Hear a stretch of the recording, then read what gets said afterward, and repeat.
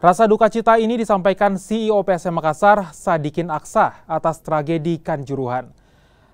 Sadikin Aksa pun berharap kejadian ini jadi langkah bagi penyelenggara kompetisi liga untuk lakukan pembenahan agar kasus serupa tidak lagi terulang.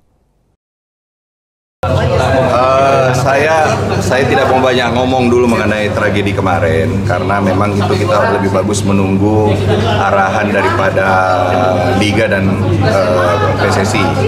Memang sangat disayangkan lah ke kejadian kemarin itu uh, bisa berdampaknya besar. Bukan cuma berdampak kepada PSM, berdampak kepada industri sepak bola Indonesia yang selama ini industri sepak bola ini lagi maju-majunya malah banyak yang mengatakan ini jauh lebih bagus daripada zaman kejayaan kita waktu 2019.